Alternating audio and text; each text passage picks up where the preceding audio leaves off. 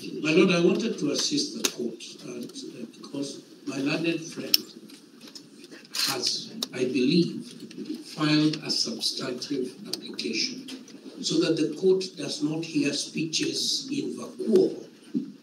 My learned friend should identify what application he is ventilating so that even we taking notes know what we should be responding to.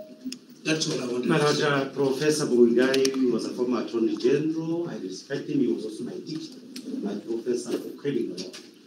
But my Lord, uh, the point that I wish to make uh, is that I am acting for specific clients today, and that's before the court. I should be heard in silence. He will respond. And I've indicated that we have formal applications.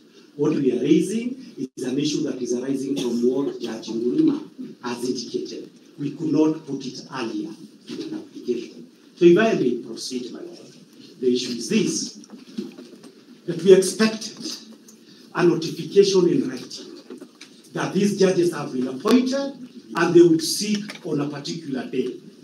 All those notifications, including in cases of abductions, have been that the first sitting by a bench has been on a working day. All applications, and I'm aware of this as a fact. So then the first clarifications would be on what basis would, uh, in an application by the executive, be convened on a Saturday? That is a substantive issue because of the second reason that our background that we are giving.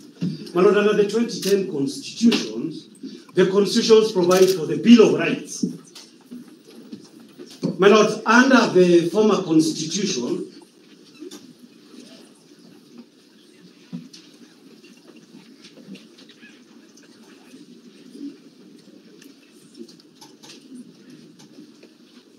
Lord, under the former constitution, we used to have a practice in which we had an officially a bill of immunities for the state, where the constitution, the state could conduct its business on weekends and outside court sitting hours.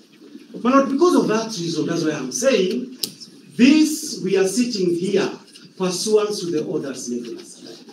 And my lord, we are also sitting here pursuant to an order made by the Honorable Chief Justice. My Lord, for purposes of Article 165, I believe it's 4 of the Constitution, the powers of the Chief Justice to appoint a bench is a substantive power.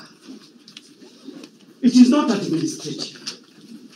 This power, my Lord, cannot be shared by the Deputy Chief Justice or with the Deputy Chief